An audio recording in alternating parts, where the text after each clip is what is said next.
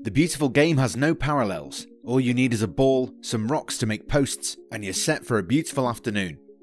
It's this easy. But for a sport that entertains half the population of the world, the upper echelons are full of wonders. Real Madrid are one such club, one such modern wonder. The most successful club in European football has a history that dates back to over a century. Its dressing room has been home to the most iconic footballers of the game. They're giants in a field of men, with the odd exception of Barcelona. The Catalan club has been a thorn in their side since their inception, and this rivalry has continued over the years. General Franco's interruptions did not help them either, and Madrid have been portrayed in the wrong light ever since. However, Franco and his fascist approach might have added flavour, but this sporting rivalry always existed. Barcelona and Real Madrid is a tale of two philosophies, two identities, one calling for separation and the other calling for unity. It's all dependent on which point of view you wish to prefer. Lest we digress, in the modern day and age, the two Spanish giants fight over bragging rights. The Catalans have been second best for a huge duration of their history, but the turn of the century has seen their fortunes improve. Barcelona have racked up domestic and European titles with renewed vigour, and they've been the most dominant team in Spanish football for two decades now. On the other hand, Real Madrid have been busy trying to come out of their rival's shadow and live up to their history. They've managed that in bits and parts, but have not put up a consistent show. Hello everyone and welcome to yet another exciting video on your favourite channel Goalside, where we bring you some amazing content on a daily basis and make sure that staying at home doesn't make you forget about the beautiful game. In today's video we're going to discuss Real Madrid and how they've evolved over the years. They were not always the juggernaut of Spanish football, they were part of the quartet of Athletic Bilbao, Barcelona and Atletico Madrid fighting for dominance in the Iberian Peninsula. Los Blancos changed all that. They rose from the shadows after the war and have not looked back since. There have been sustained periods of brilliance for them, decades when they laid claim as the best in Spain, and successive years when they had no rivals on the entire continent. Those eras of unchecked glory are not important for us. We're not looking at that time period, but times when they were under pressure, under pressure from Barcelona. We'll look at how the club worked its way out of all of this, how they managed to live up to expectations and overcame obstacles in their way. Given their illustrious history, it's tricky to pinpoint times when they might have been second best, and that too to their Catalan rivals, but there are moments there. Barcelona have always fielded strong teams, and Madrid did not always have benefactors like Santiago Bernabeu. This topic should make more sense in the current climate. Real Madrid have been battling with Barcelona over the last two decades and have not fared well. With Lionel Messi's emergence, the battles have been heavily tilted in one direction, even with the presence of Cristiano, the General, Ronaldo. As always, please remember to subscribe to our channel, like this video, and share it with your friends. Initial Troubles At the time of this video's production, Real Madrid are in a battle for their 34th La Liga title. Barcelona were their expected rivals, they were seeking their 27th domestic trophy. But it was not always like this, it was the Catalan side that drew first blood in the race for supremacy. They'd already claimed 8 Copa del Rey titles when the first La Liga campaign got underway. Moreover, they would go on to win the inaugural La Liga campaign. Real Madrid were second best in the first iteration of La Liga, but would lose their way soon. Athletic Bilbao, now Athletic Club, would go on to win the next two editions, with Real Madrid dropping further down in the 10 club competition. They were not bogged down in the next two campaigns and were champions in successive seasons. Athletic Bilbao would add two more titles to their tally, while Real Betis would claim their first. All the while, Los Blancos finished second on all three occasions. While the Basque club affirmed themselves in Spanish football, Manuel Olivares and Real Madrid could only look up from the podium. Barcelona were not in sight. Barcelona's resurgence after the war. The Spanish Civil War did not allow La Liga to continue for the next three years, and when it resumed, Real Madrid were a spent force, their best players shepherded off to pastures new. It was the same after the Great War. Barca racked up trophy after trophy, claiming five La Liga titles and raced to 12 Copa del Rey titles. Madrid were not in sight and then the prodigal Alfredo Di Stefano fortunately made his way to La Casablanca. The prolific Argentine would help end their title drought. Barcelona had won successive league titles in 51-52 and 52-53. The Catalans were the team to beat, and with Di Stefano in their ranks, Madrid did the unthinkable. They would usurp Barcelona from the perch of Spanish football and make their mark. Titles number 2 and 3 would come in successive years, so would number 4 and 5, and all of this was managed in 5 years.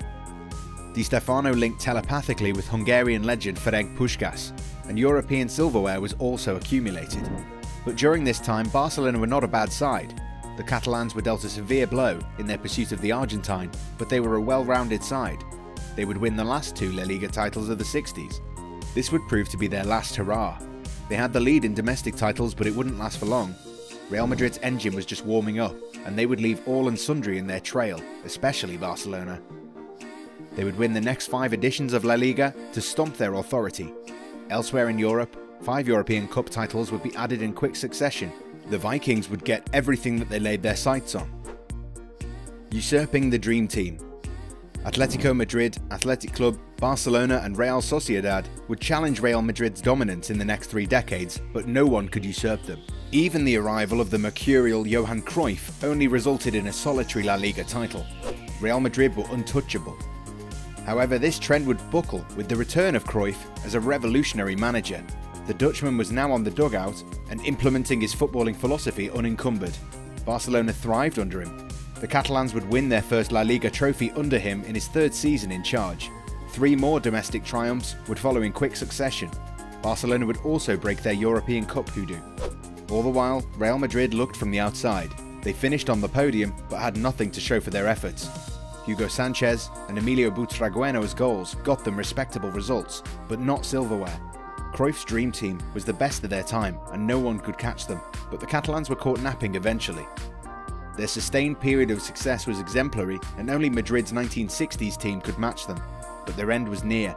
So was Cruyff's time at the Camp Nou, Los Blancos came out of Barcelona's shadows in the 1994-95 season thanks to Ivan Zamorano's 28 La Liga strikes, and with that, Real Madrid's five-year drought finally came to an end.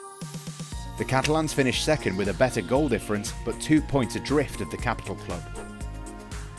Title triumphs in Rijkaard era the new millennium saw Real Madrid employing the Galacticos strategy. Every year, a new superstar would join the Bernabeu dressing room in transfers that defied expectations. But it was Barcelona who captured audiences with Rivaldo, Ronaldo, and Ronaldinho playing their part at Camp Nou. The three R's never played together in Catalonia and were on the pitch at different moments in time. It was push and pull until Dino's arrival. Alongside Deco and a young Xavi, Ronaldinho would make Barcelona the most entertaining team to watch they were fan favourites and with much justification.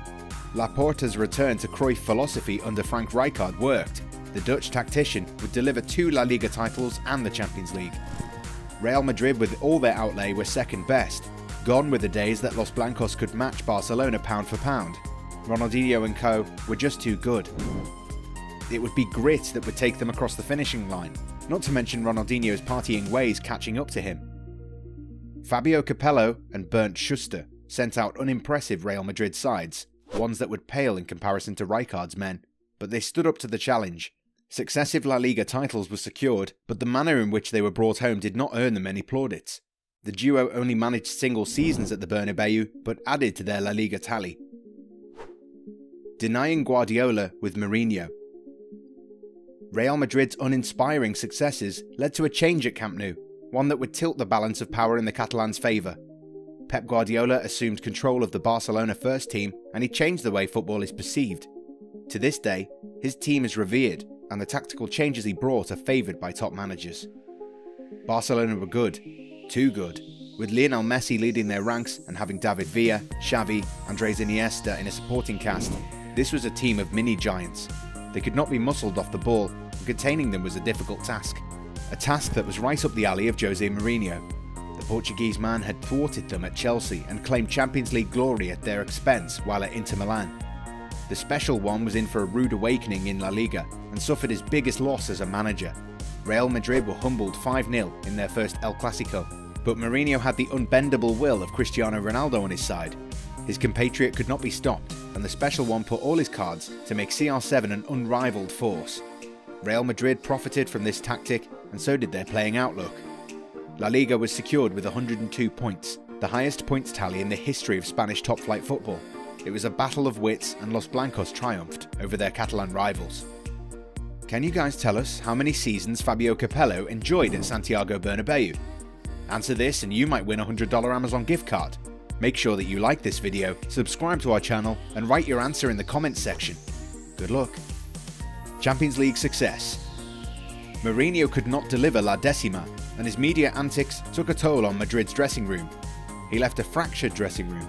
In the meanwhile, Barcelona raced to three La Liga titles. Even Atletico Madrid managed to scalp one domestic triumph. Lionel Messi could not be tamed, and Barcelona reigned supreme in the Iberian Peninsula. They added two more La Liga titles, but not without Real Madrid showing they're not inferior to them. Zinedine Zidane gave them their 33rd La Liga title at the culmination of the 16-17 campaign. Lionel Messi's 37 domestic goals not helping their cause, but it's not in La Liga but Champions League that Real Madrid have proved their pedigree as a top club, one far better than their Catalan rivals. While Barcelona have added domestic titles, Real Madrid have won four of the last six editions of the Champions League. Barcelona have only managed one. As it stands, Los Blancos edge Barcelona both at home and in Europe. They have 33 La Liga titles to Barcelona's 26, and in Europe they have 13 successes to the Catalans' 5. No one comes close. Barcelona doesn't in La Liga, and in Europe they are peerless.